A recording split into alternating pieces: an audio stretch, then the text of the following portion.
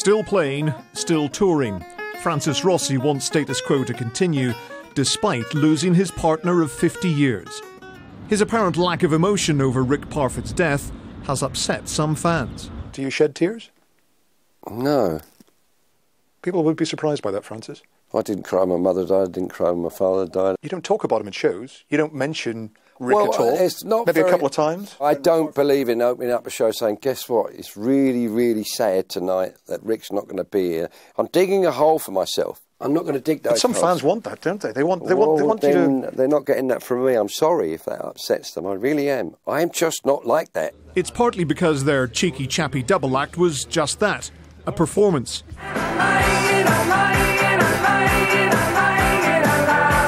Their relationship grew strained. Rossi says it was because of Parfitt's drink problem.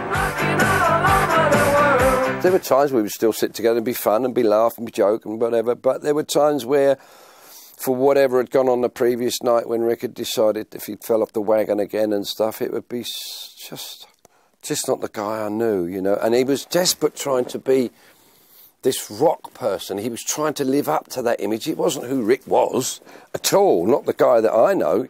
Six months before he died, Parfitt suffered a massive heart attack shortly after a concert in Turkey. Rossi witnessed paramedics battling to resuscitate him.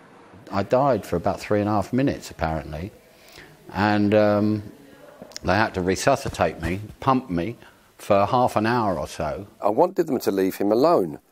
They were physically hurting, him. if you saw the state that he was in and what they were doing to his body, my teeth are grinding because I want to hurt the people that did that.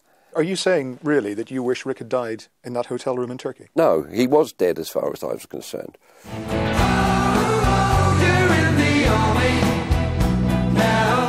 The heart attack ended Parfitt's career, but prolonged the life of status quo. With a young replacement, what had been billed as a retirement tour was extended and is still going strong. It led to criticism from Parfitt's son, but his family will continue to earn royalties. Anything that's to do with status quo, Rick and I own status quo, so the the state will uh, earn the, the income. I don't understand why his boy said that.